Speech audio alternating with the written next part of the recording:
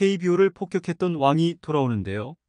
근데 KT 팬들과 선수들의 반응이 좋지 않습니다.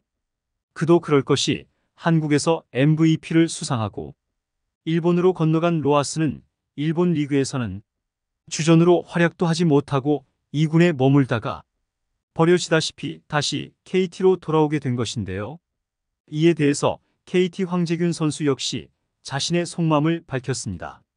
관련 내용 정리해 드리도록 하겠습니다. 3년 전 KBO 리그를 평정한 MVP가 돌아오는데요. KT 위즈는 7일 외국인 타자 멜로아스 주니어, 외국인 투수 윌리엄 쿠에바스와 계약을 완료했다라고 공식 발표했습니다. 로하스가 총액 90만 달러, 약 11억 원, 쿠에바스가 총액 150만 달러, 약 19억 원에 계약했는데요.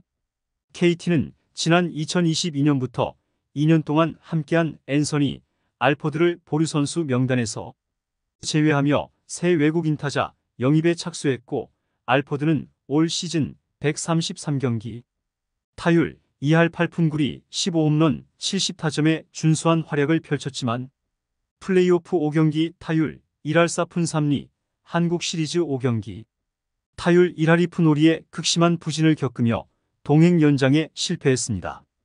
알포드의 어설픈 외야 수비력 또한 재계약 불발의 주된 요인이었는데요.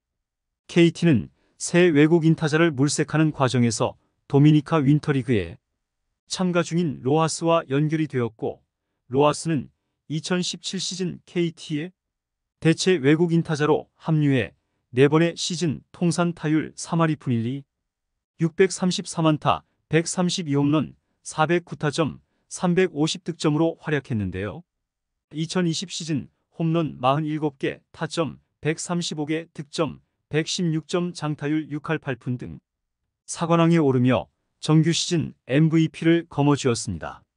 로하스는 이에 힘입어 2021 시즌 일본 프로야구 한신 타이거스에 러브콜을 받고 2년 계약했지만 KBO 리그보다 한 수 위인 일본 야구 적응에 실패하며 씁쓸하게 일본을 떠났는데요.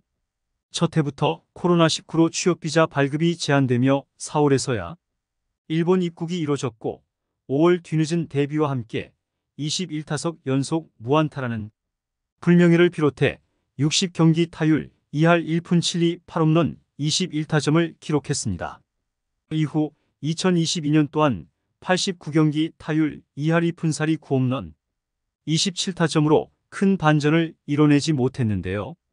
2023 시즌을 멕시코 리그에서 보낸 로하스는 도미니카 윈터리그에서 34경기 타율 2할 8푼 3리 5홈런 14타점을 기록 중이었습니다. 로하스는 KT와 계약 후 다시 KT 유니폼을 입게 돼서 기쁘다.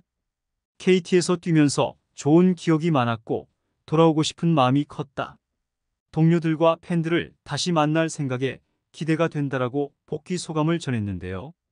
쿠에바스는 재계약으로 KT와 6시즌째 함께하게 되었습니다.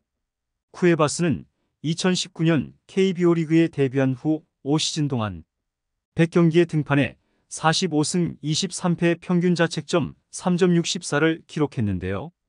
쿠에바스는 지난 6월 보슐서의 대체 외국인 투수로 합류해 대체 외인 성공 신화를 썼습니다. 2021년 통합 우승 이후 지난해 부상으로 2경기 만에 팀을 떠나야 했지만 한층 업그레이드된 기량을 앞세워 1992년 오봉옥 13승 2002년 김현욱 10승에 이어 KBO 리그 역대 세 번째 무패 승률왕을 차지했는데요.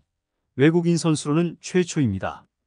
이강철 감독은 팀을 꼴찌에서 2위로 이끈 1등 공신으로 쿠에바스를 꼽았습니다. 나도현 KT 단장은 로하스는 다른 리그에서 뛸 때도 꾸준히 지켜봤다. 여전히 경쟁력을 갖추고 있다고 판단했다. 익숙한 팀에 온 만큼 제 기량을 발휘할 수 있을 것으로 기대하고 있다.